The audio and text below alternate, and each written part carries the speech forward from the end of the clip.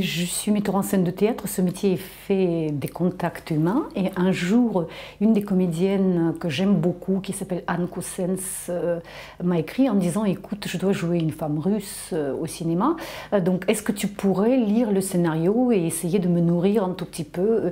Le film s'appelle Illégal, donc déjà le titre est assez parlant en soi.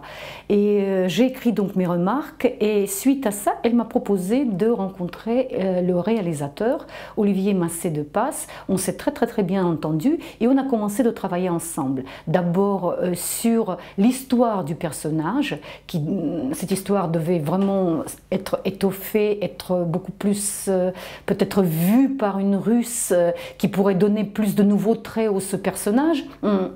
Et puis, deuxièmement, on a beaucoup travaillé sur les dialogues en russe. L'histoire du film, c'est une femme russe qui habite en Belgique et elle habite en Belgique illégalement. Euh, elle, elle, a fait une demande de naturalisation. Cette demande, n'a pas abouti. Un jour, elle est prise euh, suite à un contrôle d'identité.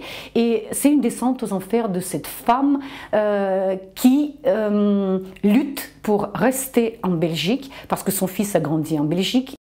J'ai passé un casting euh, pour un film de Jean-Paul Siverac qui s'appelle Des filles en noir. Et euh, la condition mm, pour passer ce casting était euh, pas seulement d'être une comédienne, mais aussi de savoir jouer du piano. Parce qu'il fallait accompagner, il fallait jouer un professeur de musique qui accompagne au cours d'une scène donc, son élève au piano. Et en faisant la répétition avec la jeune fille Élise Lomo qui joue le personnage principal, donc j'apprends qu'elle est ivrienne, elle aussi. Donc euh, la ville d'Ivry est grande, mais le monde est petit. Donc on s'est retrouvés, euh, on s'est retrouvé donc sur le tournage euh, et c'était une très très belle aventure.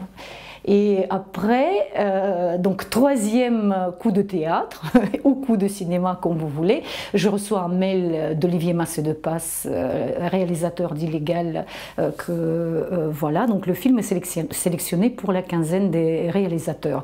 Hurrah, hurrah, champagne, je suis très heureuse, je chante, je danse. Donc, euh, et quelques jours après, donc je reçois le mail de Jean-Paul Siverac, euh, le film Défi en noir est sélectionné pour la quinzaine de réalisateurs au Cannes.